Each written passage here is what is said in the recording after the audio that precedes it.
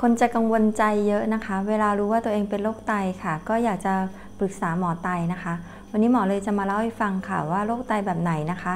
ที่มีความจำเป็นที่จะต้อง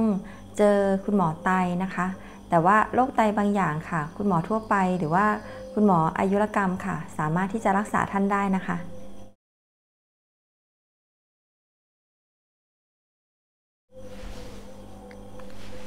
รียนดูเรื่องไตกับหมอไตทางช anel นี้นะคะ หมอไตให้คำตอบโดยแพทย์หญิงกัญญมลค่ะ แล้ววันนี้หมอจะเล่าให้ฟังนะคะสำหรับ 5 กลุ่มโรคไตค่ะ ที่ท่านควรจะเจออายุรแพทย์โรคไตนะคะ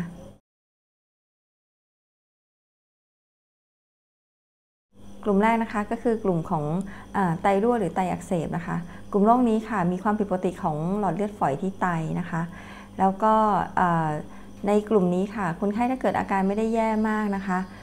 คุณหมออายุรกรรมค่ะ สามารถที่จะรักษาท่านได้นะคะ โดยส่วนใหญ่เราก็จะหาสาเหตุก่อนนะคะ ว่ามีสาเหตุที่ทำให้มีไตรั่วหรือมีไตอักเสบหรือเปล่านะคะ ถ้าไม่เจอสาเหตุก็คือเป็นไตรั่วหรือว่าไตอักเสบจากตัวไตเองนะคะ ในกลุ่มนี้เราก็จะให้ การรักษาโดยการให้ยาสเตียรอยก่อน แล้วก็ดูการตอบสนองนะคะ โดยส่วนใหญ่กลุ่มนี้ค่ะเราก็จะดูการตอบสนองที่ประมาณ 1 เดือนนะคะ ถ้าเกิด 1 เดือนแล้วอาการของคนไข้ดีขึ้นนะคะ แล้วก็ผลเลือดผลปัสสาวะดีขึ้นค่ะ อันนี้สามารถปรับยากับคุณหมออายุรกรรมได้นะคะ แต่ว่าถ้าเกิดยังไม่ดีขึ้นค่ะ เช่นให้ยาแล้วคนไข้มีอาการแย่ลงหรือว่าเช่นอังบวมไม่ดีขึ้นนะคะ หรือว่าโปรตีนรั่วค่ะยังไม่ดีขึ้น หรือว่ามีค่าการทำงานของไตที่ผิดปกติมากขึ้นค่ะ อันนี้คุณหมออายุรแพทย์ก็จะทำการส่งต่อมาเจออายุรแพทย์โรคไตนะคะ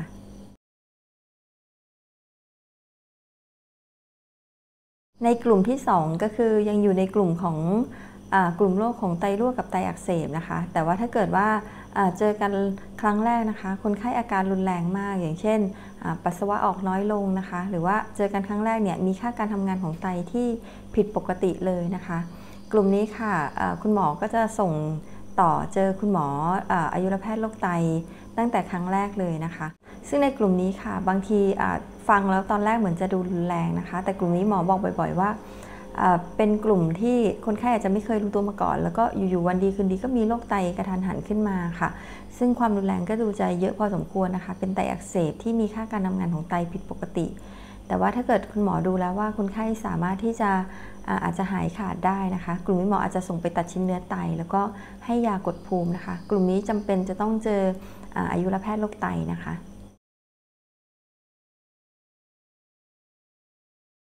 ข้อต่อไปนะคะ อันนี้ก็คืออการที่มีข้อบ่งชี้อย่างอื่นนะคะ อันนี้ก็จะประกอบด้วยกันหลายอย่างนะคะ อย่างเช่น ผู้ป่วยมีไตวายเฉียบพลันนะคะผู้ป่วยมีโปรตีนรั่วในปัสสาวะค่ะ แล้วก็มีความดันโลหิตสูงค่ะ ที่ทานยาตั้งหลายชนิดแล้วก็ไม่ดีขึ้นสักที เช่นทานยาตั้ง 4 ชนิดแล้วนะคะ ผู้ป่วยมีเม็ดเลือดแดงในปัสสาวะมากกว่า 20 เซลล์ แล้วก็ไม่เจอสาเหตุนะคะโพแทสเซียมค่ะ สูงเรื้อรัง หรือว่ามีนิ่วในทางเดินปัสสาวะนะคะ มากกว่า 1 ครั้ง จะมีโรคบางอย่างค่ะ ที่เป็นสาเหตุของการเป็นนิ่วนะคะ ดังนั้นถ้าเกิดว่าไม่ได้รับการแก้ที่สาเหตุค่ะ พอรักษานิ่วหายเสร็จ ก็จะกลับมาเป็นนิ่วอีกนะคะ ซึ่งเราก็ทราบอยู่แล้วว่าการมีนิ่วอยู่ในร่างกายนะคะ นิ่วในระบบทางเดินปัสสาวะอยู่ในร่างกาย ก็เพิ่มโอกาสของการจะเป็นโรคไตเรื้อรังตามมาแบบนี้นะคะ สุดท้ายก็คือมีโรคไตเรื้อรังบางอย่างนะคะ ที่ได้รับการถ่ายทอดทางพันธุกรรมค่ะ กลุ่มต่อไปอันนี้ก็เป็นกลุ่มที่คนกังวลกันมากที่สุดนะคะ ก็คือกลุ่มไตเรื้อรังค่ะ โดยส่วนใหญ่ไตเรื้อรังที่หมอเคยเล่าให้ฟังไปแล้วนะคะ ไตเรื้อรังมีอยู่ทั้งหมด 5 ระยะค่ะ ในกลุ่มไตเรื้อรังที่อยู่ในระยะที่ 1 กับระยะที่ 2 นะคะ ในกลุ่มนี้ค่ะคุณหมอทั่วไปสามารถดูแลได้นะคะ แล้วก็ในกลุ่มไตเรื้อรังในระยะที่ 3 ค่ะ อันนี้คุณหมอ ทั่วไปค่ะก็จะส่งต่อนะคะ มาเจอคุณหมออายุรกรรมนะคะ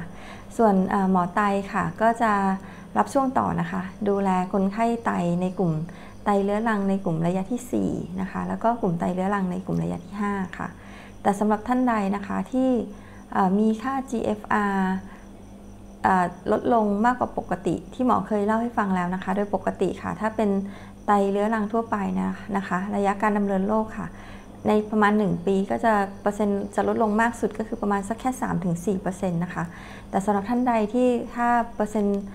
การทำงานก็คือ GFR ลดลงมากกว่า 5%อย่างนี้นะคะ คุณหมออายุรกรรมก็จะส่งต่อมาเจออายุรแพทย์โรคไตแบบนี้นะคะ ในกลุ่ม ไตระยะที่ 1 2 3 ค่ะ กลุ่มนี้การทำงานของไตของท่านยังไม่แย่นะคะ ต่อให้ท่านมาเจอหมอไตท่านก็บางทีก็ไม่ได้รับยาอะไรที่เพิ่มเติมสำหรับเรื่องไตนะคะ หมอก็จะให้คำแนะนำเพิ่มเติม แล้วก็จะดูว่าท่านมีปัจจัยอะไรที่จะทำให้ไตของท่านเสื่อมลงเร็วหรือเปล่า ส่วนใหญ่ก็จะดูจากโรคประจำตัวของท่านนั่นเองนะคะ เป็นเบาหวานก็ดูว่าเออเบาหวานดีหรือยังอาจจะปรับยาเบาหวานให้ เป็นความดันก็ปรับยาความดันให้นะคะ โดยส่วนใหญ่ก็จะยังไม่ได้มีการ ปรับยาอะไรที่เป็นยาไตในกลุ่มที่เป็นไตเรื้อรังระยะที่ยังไม่มากนะคะ นอกจากนี้ที่หมอจะแนะนำเพิ่มเติมก็อาจจะเป็นไตเรื้อรังระยะที่ 4 ระยะที่ 5 ที่เราดูแล้วว่าเอ๊ะมีแนวโน้มที่อาจจะต้องไปฟอกเลือดไตหรือว่าไปล้างล้างไตทางช่องท้องเร็วๆนี้นะคะหมอก็จะมีการแนะนำเพิ่มเติมว่าวิธีการเลือกควรจะเลือกแบบไหน หรือว่าคนไข้ควรจะตัดสินใจเลือกได้ในช่วงไหนแล้วหรือยังอย่างนี้นะคะ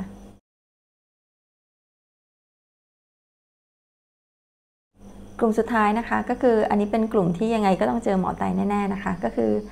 กลุ่มคนไข้ที่ได้รับการบำบัดทดแทนทางไตแล้วนะคะ ก็คือกลุ่มคนไข้ที่ฟอกเลือดไต คนไข้ล้างไตทางช่องท้อง หรือว่าคนไข้ที่ได้รับการปลูกถ่ายไตค่ะ และนี่ก็คือ 5 กลุ่มโรคไตนะคะ ที่ควรจะเจอหมอไตค่ะและสำหรับวันนี้ค่ะหมอจะจบวิดีโอไว้แต่เพียงเท่านี้นะคะ ท่านใดที่คิดว่าวิดีโอนี้มีประโยชน์ค่ะ ฝากช่วยกดไลค์ กดแชร์ กดติดตาม Subscribe แล้วก็กดกระดิ่งด้วยนะคะ เรียนรู้เรื่องไตกับหมอไต หมอไตให้คำตอบโดยแพทย์หญิงกัญญมล สวัสดีค่ะ